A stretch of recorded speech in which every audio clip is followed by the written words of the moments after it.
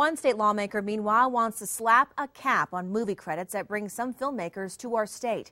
As Action 7 News reporter Greg Gouroulet reports, the proposal would clip the $82 million spent on the incentives practically in half. Ready and action. Filmmakers showed off what they do best, practically on the steps of the Roundhouse, as they rounded up support for their industry. There's going to be 12,000 more people out of work.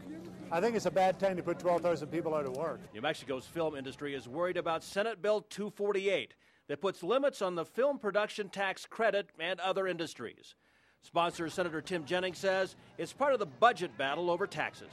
Before we raise all those taxes and, and give all them all those tax credits, we ought to sit down and make sure that we, you know, we fair to the people who have been paying taxes here for 50 and 60 years. But many in the New Mexico film industry, like actor Wes Studi, say the credits are new but critical. It's a program that hasn't had the opportunity to actually flex its muscles to the max, and now we have people who are perhaps thinking about cutting it off at the knees. You've got more than 40 states out there right now uh, with incentive programs, a lot of foreign countries in Canada trying to draw these productions away from the United States.